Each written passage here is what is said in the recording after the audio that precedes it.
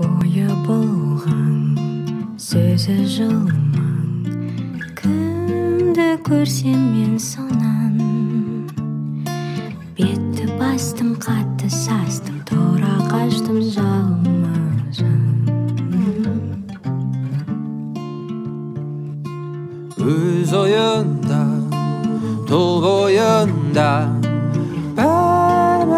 жоқ пендесі үйде сырдаң сөзі бүгін біздер ақтөбе қаласында ә, мұғалжар серіктестігінде асыл тұқымды мұғалжар жылқысын дәріптеу танысу мақсатында ауқымды көлемде семинар өтіп жатыр семинарға қош келдіңіздер. Бұл жылқының сипаттамасы тағы да басқа қасиеттер ерекшелігі туралы ақтөбе облыстық тәжірибелік станциясының жылқы шаруашылығы меңгерушісі ырзабаев толыбек ағайға сөз кезегін алдымызда өзімізде отанымызда ақтөбе облысында шыққан мұғалжар жылқы тұқымымыз артымызда тұрған.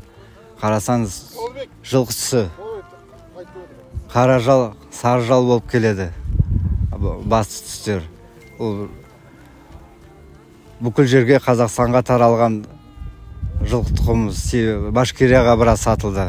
Ол башкирия деп айтады. Құла деп башкирия ол негізі біздің отанымыз. Осы ақтөбе мұғажар заводының ізім ізінен шық, шыққан. Жазына қарамай мойымайтын күй бермейтін жылқымыз.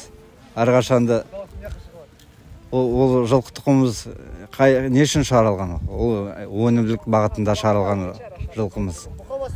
Ет сүт сүтті көп беретін. Сойыс шығымына келсек елу жеті алпыс пайызға дейін беретін жылқымыз көнбестік көнбестік қасиеттері өте өте жоғары үйірістағыш осы біздің мақтанышымыз жалғыз ақтөбе емес мына біздің қазақстан мақтанышы деп айтуға болады слово предоставляется нургалиевой лязят члену республиканской палаты слово вам Спасибо. Добрый день.